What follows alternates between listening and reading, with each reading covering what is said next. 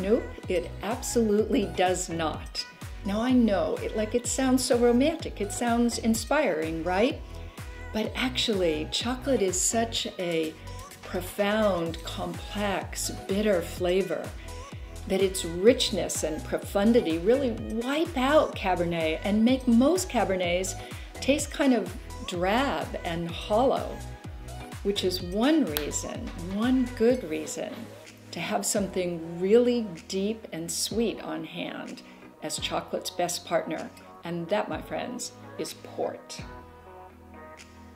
I'm Karen MacNeil. Thanks for watching. And if you like videos like this, subscribe.